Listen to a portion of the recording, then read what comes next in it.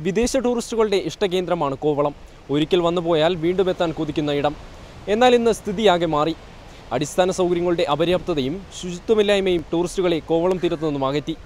വിനോദസഞ്ചാരകാലം പകുതി പിന്നിടുമ്പോഴും സമുദ്ര ബീച്ചുകൾ ആളൊഴിഞ്ഞ നിലയിലാണ്. ഒക്ടോബർ മുതൽ മാർച്ച് വരെയാണ് കോവളത്തെ വിനോദസഞ്ചാരകാലം. എന്നാലും ഓണാവധി മുതൽ തന്നെ വിദേശികളും സ്വദേശികളും തീരത്തേക്ക് എത്തിത്തുടങ്ങുമായിരുന്നു. എന്നാൽ ഇത്തവണ അതുണ്ടായില്ല. സഞ്ചാരികളുടെ കുറവ് വ്യാപാര മേഖലയെയും ദുരിതത്തിലാക്കി. ആഭ്യന്തര ടൂറിസം കൂടുതൽ ഡെവലപ്മെന്റായി വന്നപ്പോഴേക്കും നമുക്കിടെ നമ്മുടെ ഇന്റർനാഷണൽ ടൂറിസ്റ്റിന്റെ വരവിനെ അത് കാര്യമായി ബാധിച്ചിട്ടുണ്ട്. അതിന് നമുക്ക് പരിഹാരം കാണാൻ കഴിയുന്നത് ടൂറിസം ഡിപ്പാർട്ട്മെന്റിന് കഴിയും നമ്മുടെ ലോക്കൽസിന് ശരിക്ക് കഴിയും. അതുപോലെ തന്നെ നമുക്ക് പ്രത്യേകിച്ച് നാട്ടുകാർക്കും അതിന് ഒരുപാട് കോൺട്രിബ്യൂഷൻ ചെയ്യാൻ കഴിയും. പക്ഷേ എന്നാലും ഡിപ്പാർട്ട്മെന്റ് അതിനൊരു മുൻകൈ എടുക്കണമെന്നാണ് പ്രത്യേകിച്ച് എനിക്ക് പറയാനുള്ളത്. ഞാൻ ഇപ്പം ബിസിനസ് തുടങ്ങിയിട്ട് ഏകദേശം ഒരു പതിനെട്ട് കൊല്ലമായി. ശരിക്കും പറഞ്ഞാൽ നമ്മുടെ ബിസിനസ്സൊക്കെ സ്റ്റാർട്ട് ചെയ്യുന്ന സമയത്ത് ഈ കോവളത്ത് ചാർട്ടർ ഫ്ലൈറ്റ് ഉണ്ടായിരുന്നു. ഇപ്പോഴേക്ക് ചാർട്ടർ ഫ്ലൈറ്റ് രണ്ടായിരത്തി ഏഴോട് കൂടി അവസാനിച്ചപ്പോഴേക്കും ശരിക്കും നമുക്ക് സീസണിലേക്ക് വരുന്ന ഗസ്റ്റിന്റെ എണ്ണവും വളരെ ചുരുങ്ങിയിട്ടുണ്ട്. അതോടൊപ്പം തന്നെ സീസൺ ഒരു രണ്ടോ മൂന്നോ മാസക്കാലമായി വളരെയധികം കുറഞ്ഞിട്ടുമുണ്ട്.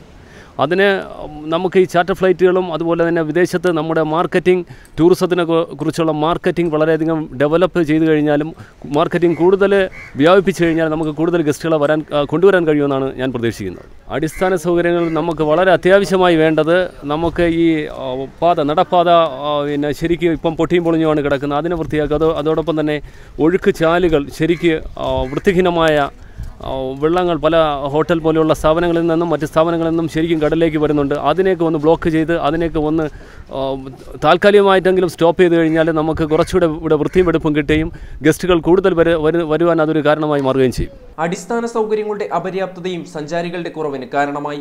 സ്വകാര്യ വസ്തുവിലുള്ള രണ്ട് ശൗചാലയങ്ങളും വാഹന പാർക്കിങ്ങും മാത്രമാണ് തീരത്തിന് സമീപമുള്ളത്. ഹവ ബീച്ചിലേക്കുള്ള റോഡുകൾ ഇടുങ്ങിയ നിലയിലാണ്. ദിനംപ്രതി കടൽ കയറി ബീച്ചിന്റെ വലുപ്പവും കുറഞ്ഞു വരുന്നു. മലിനമായ നിലയിലാണ് കടൽ തീരം മുഴുവനും.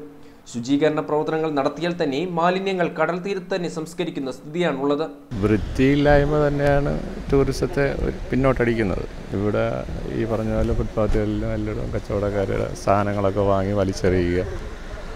പിന്നെ അത് ഈ പറഞ്ഞ പോലെ വേസ്റ്റ് ബോക്സിൽ എവിടെയെങ്കിലും കളക്ട് ചെയ്തെടുത്തുകൊണ്ട് പോകുന്ന ഒരു സംവിധാനം ഇവിടെ ഇല്ല. ഇല്ലെന്നല്ല അതിവിടെ കൊണ്ട് വയ്ക്കാറുണ്ട് അത് മീഡിയകളൊക്കെ വന്ന് ആഘോഷത്തോടെയൊക്കെ വെച്ച് അങ്ങ് പോയതിന്റെ പുറകെ അവരങ്ങ് എടുത്തുകൊണ്ട് പോകും.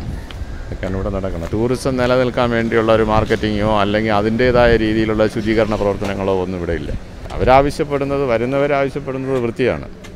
അതല്ല? ഇതിപ്പോൾ വർഷാവർഷങ്ങളിൽ നിങ്ങൾ മീഡിയകൾ എന്തെങ്കിലുമൊക്കെ പറയുമ്പോൾ അത് അവർ കേട്ടിട്ട് അവർ ഉടനെ പറയും അവിടെ അത് ചെയ്യും ഇത് ചെയ്യുമെന്ന് പറയും. ഇവിടെ ചുരുക്കി പറഞ്ഞ ഒരു മൂത്രപ്പുര പോലും അവർ കെട്ടിയിട്ടില്ല. ഇവർ കോടിക്കണക്കിന് രൂപയുടെ വർക്ക് നടത്തുന്നു നടത്തുന്നു എന്ന് പറയുന്നത്. ഇവിടെ വരുന്ന നോർത്ത് ഇന്ത്യൻ ടൂറിസ്റ്റൊക്കെ ഒരു ദിവസത്തെ സ്റ്റേക്കാണ് പറഞ്ഞത്. അവർ ചിലപ്പോൾ ഓൺ ദി വെയിൽ ഇവിടെ ഇറങ്ങി ഒന്ന് കുളിച്ചിട്ടായിരിക്കും പോണത്. കുളിച്ച് കഴിഞ്ഞാൽ തുണി മാറാൻ സ്ഥലമില്ല.